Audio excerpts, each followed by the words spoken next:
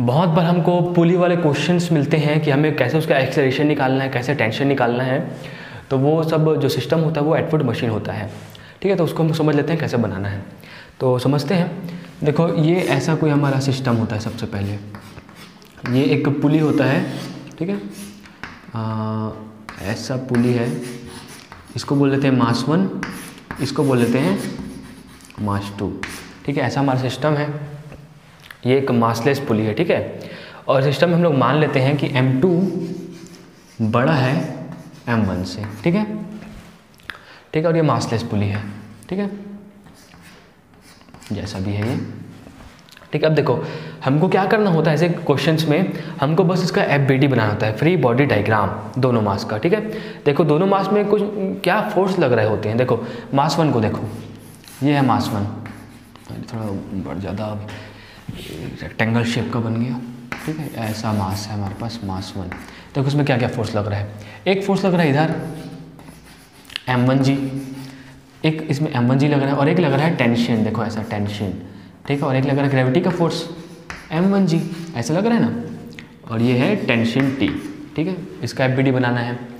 तो देखो second law of motion Newton second law of motion लगा लेते हैं। नेट फोर्स कितना होता है? सेकेंड लॉ ऑफ़ मोशन क्या कहता है? Force equals to mass times acceleration ऐसा होता है। देखो उसमें नेट फोर्स कैसे लगेगा। मास टू को देखो, इसमें भी एम टू जी लग रहा है फोर्स और इसमें भी टेंशन लग रहा है टी अब क्योंकि हमने एज्यूम किया कि मास टू बड़ा है मास वन से तो इसका एक्सेलेशन कुछ ऐसा होगा। है ना? ये मास ऐसे नीचे खींच रहा होगा। तो देखो नेट फोर्स किस डायरेक्शन में होगा? इस डायरेक्शन में होगा। तो हम लोग बोल सकते हैं मास वन के केस में नेट फोर्स कैसा होगा टेंशन बड़ा होगा टेंशन का फोर्स बड़ा होगा एम वन जी से। तो T minus m one g is equal to mass क्या है? एम वन ए ठीक है, ये हो गया। इसको हम लोग बोल लेते हैं फ़र्स्ट इक्वेशन ठीक है? उसी पर अगर सेकेंड जो मास है, उसका भी हम लोग फ्री बॉडी डायग्राम बना लेते हैं। ये है एम टू इसमें भी टेंशन लग रहा है ऊपर, और ग्रेविटी का फोर्स लग रहा है एम टू जी ठीक है, ऐसा हो रहा है। Second equation second law of Newton Newton का सेकेंड लॉ लगा लेते हैं। नेट फोर्स होगा मास टाइम्स एक्सलेशन इधर नेट फोर्स क्या होगा?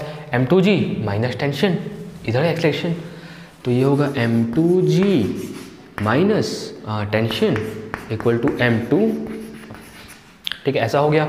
इसको बोल देते हैं सेकेंड इक्वेशन ठीक है? अब क्या करेंगे? दोनों इक्वेशन को हम लोग ऐड कर लेते हैं। ठीक है? दोनों को ऐड कर लेते हैं। तो मैं ऐड करके दिखाता हूँ। एडिंग चलो एड वन एंड टू लिख देता हूँ मैं एड वन एंड टू देखो क्या होगा। इसको इस क्वेश्चन को देखो।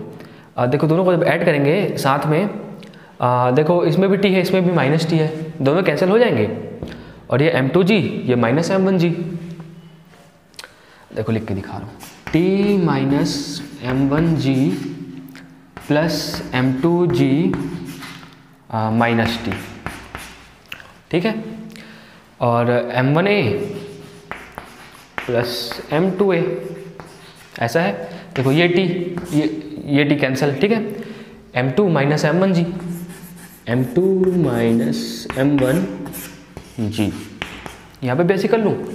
M two plus m one a common निकल गया ए अब क्या हो जाएगा? देखो, अगर इसका एक्सलेशन हम चाहते हैं जानना, इसका एक्सलेशन हम कैसे जान सकते हैं? देखो, ये नीचे आ गया। तो एक्सेलेशन क्या हो जाएगा? M two minus m one g divided by m two plus m ये है इसका एक्सेलेशन तो इस सिस्टम का एक्सेलेशन ऐसे निकलता है। अब, हमको मान लो टेंशन जानना है तो टेंशन के लिए क्या करेंगे? इस एक्सलेशन की वैल्यू को किसी भी एक इक्वेशन में डाल देंगे। अब डाल के देखो आपको टेंशन की वैल्यू निकल जाएगी। वैसे मैं उसको अगले वीडियो में बनाऊँगा और इससे रिलेटेड हम लोग क्वेश्चंस करेंगे। अब एक लिए इतना जान लो कि एक्सलेशन कैसे निकल। और अगले वीडियो में हम लोग ये भी देखेंगे कि एक ट्रिक कैसे इस क्वेश्चन को ट्रिक से बनाना है। ठीक है?